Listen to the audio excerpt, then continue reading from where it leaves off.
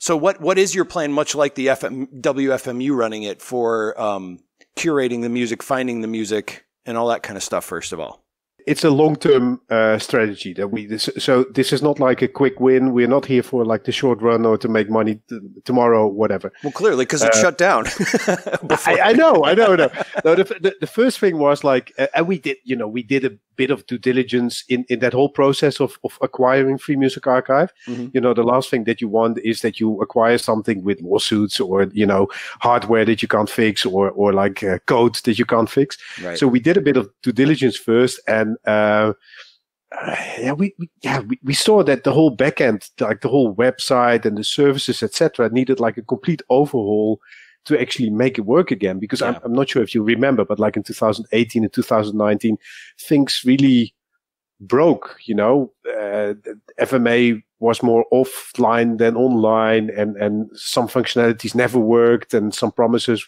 you know, they they couldn't keep up with those promises.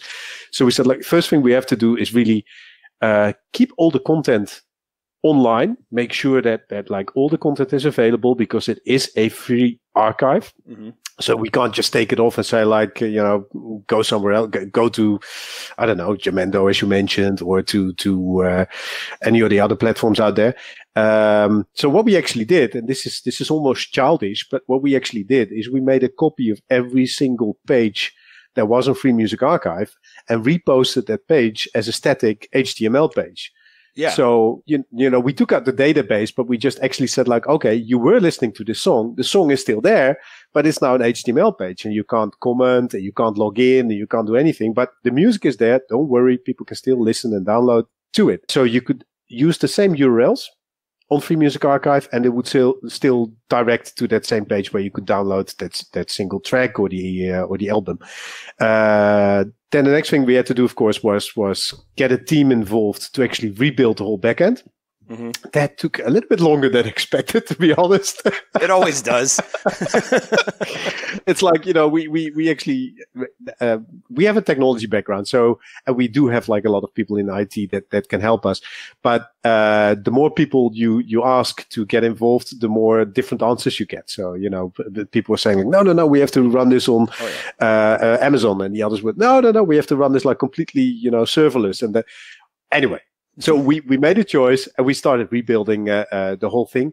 Um, so now for a couple of months now, it's back online with databases. People can log in again. Musicians can upload again. But there are like three main uh, roles on, on, on Free Music Archive. You have, you have the artist. Um, and we said like, first, and this is also more from a, a legal perspective, you know, if the artist owns a song, um, then if we help him or her to actually start uploading again and understand what he signs off with, you know, with Creative Commons, then that's that's a good start because you know you are like super close to the source, like the musician, and you tell them that like you have something like that's called Creative Commons, and with the Creative Commons license, you can actually share your music with the world under your own conditions, and those are the conditions, and you can pick and choose. So that that was the first like thing that we had to do. But then we still had like two major groups on Free Music Archive. One were the net labels, and the other one were like people like yourself, like curating free music archive mm-hmm. and writing blog posts and saying like, I, I really want to do like a story about Latin American music with specific instruments in wintertime, whatever, you know, just a super specific uh, item that you, you know, you want to uh, uh, start blogging about and curating content about and and sh- share that story with with with the world. Um, so that group is still not served by us. So I, you know, mm-hmm. my apologies. Uh, we, we, we, we, we haven't got there yet and we will in the upcoming weeks slash months. Uh, because the first thing that we have done now were the musicians, help them. Then the second, uh, group were the net labels. Uh, and, and I'm, I'm completely honest with you. They were a bit, some of them were super upset with us.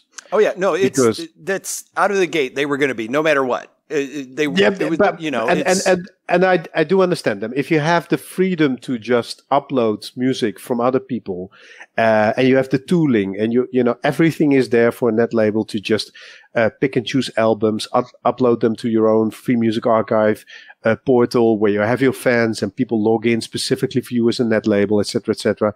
And and we pause that We just tell them like, it might be a good idea. It might not be a good idea. We, you know, we don't know yet, but we will just pause your superpowers. Then of course there will be a couple of people like go like completely mad. And, mm-hmm. and so, you know, we had our fair share of um, online fights with it.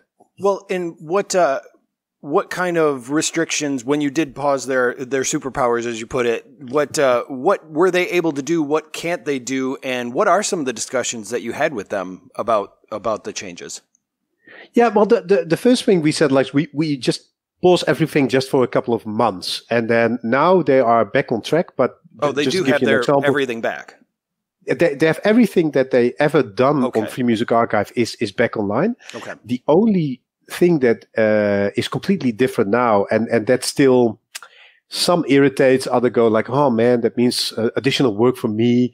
Uh, we will ask them to actually when they want to like upload new albums from artists that that somewhere in the past said like, no, no, no, that's okay, you do that because I don't like that stuff, and you're the net label and just go for it. We asked the artist once to just go to their page on Free Music Archive claim that page and just read what they are actually uh, uh, handing over to the net label, like you know, from, more from a legal perspective, like okay. uh, so that they see a single page where it says like you're now giving net label A, B, or C the superpowers to manage your albums or to uh, alter your bio or to upload your pictures or to, you know just the basic managerial stuff that you can do on Free Music Archive as a net label.